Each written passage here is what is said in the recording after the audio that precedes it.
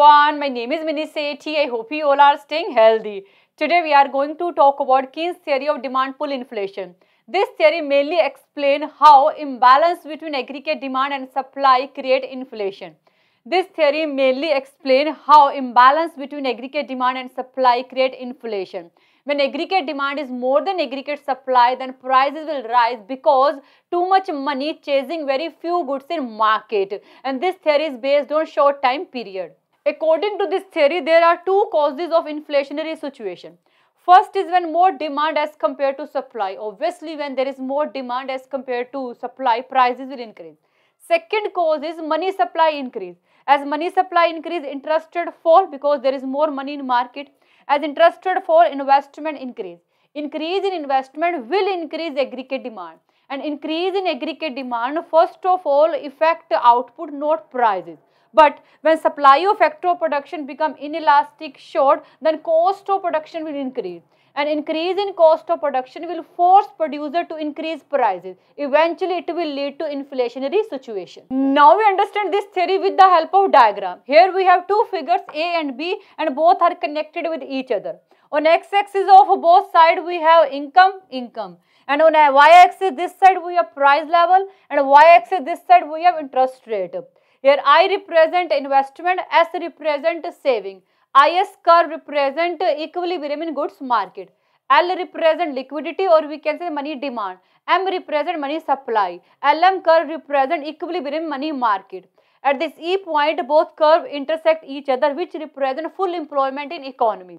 At full employment level, our income is YF and interest rate is OR. Corresponding to this E point, this E also represent full employment in economy SS is supply curve, DD is demand curve. At full employment level, both curve intersect each other. And our equilibrium price is OP and equilibrium income is OYF.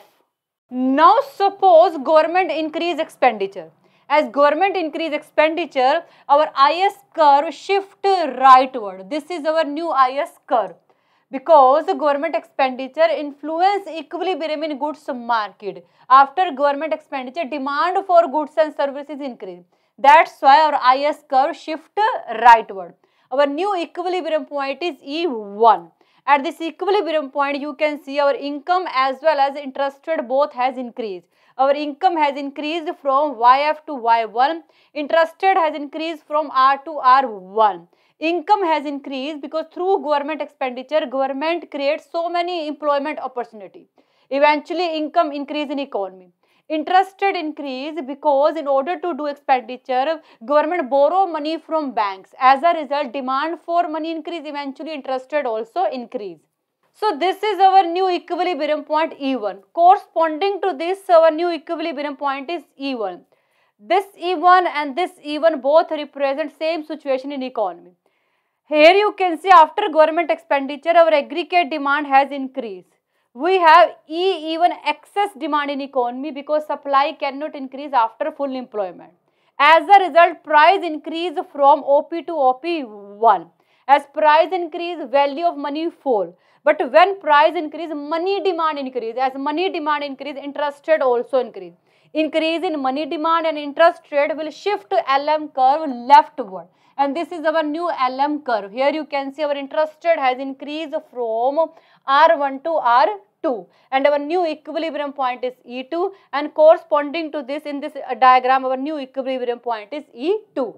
So at this both E2 E2 point we have achieved our full employment income YF YF but at a higher prices and higher interest rate as compared to previous uh, full employment level but one thing is that at uh, this E2 point, uh, our excess demand E1 has reduced, which was increased because of uh, government expenditure. So this is all about Keynes theory of demand pull inflation. I think you got it and thank you so much for watching this video. Bye. Take care.